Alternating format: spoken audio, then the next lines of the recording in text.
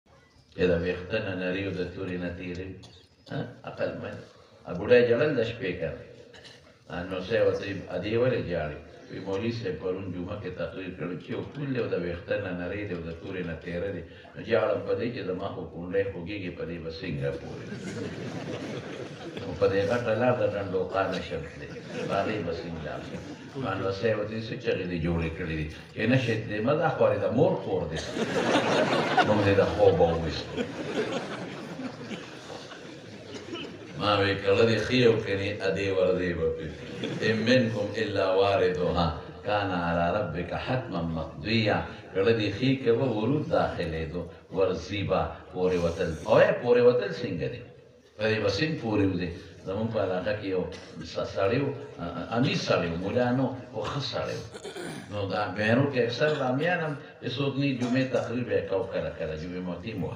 نو تقریر کې د پولیس سویرات د پولیس ذکر و اصل کې سویرات لارې ته وایي جسر ورته حدیث کې راغلی جسر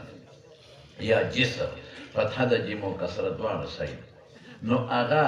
تقریر یې وکړ نو یو مقتدي وله چای پخه کړه او چه سره یې وله دا په آرامې چرګ سور کړ نو هغه یې پېښه وکړه استاد جي شر به دا وکړه زه بد مور شوم دا خلاص کا خلاص کا چې چرګ یې پېښه وو او استاد جي مور کړ استاد جي تا چې پرون خبره کوله چې یو پول دی او د ویښته نه نری او توره نه تېره دا حقیقت دی که هسې دې مونږ یارو نه نه وي دا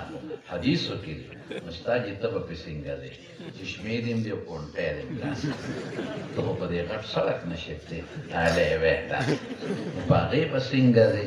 خو تا سره به څه دمي چې پې ځې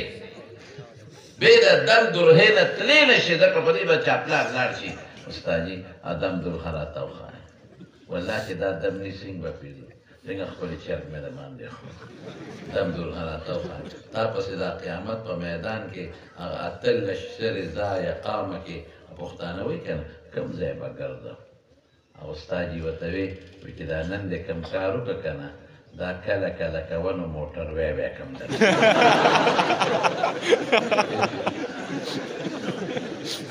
یا ماله چل دی ما وی موټر وای څه ته وای رسول الله صلی الله علیه وسلم فرمای بخاری جلد ثانی کې حدیث دی بعض خلک کل برق لکه برېښنا په شان به پړق سره تیر شي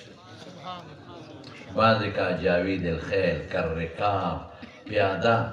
چې خدای طاقت یې کړي اوس عقل ستا مني نه نو ته انکار کوې نو عقل به نه جنګو په دین کې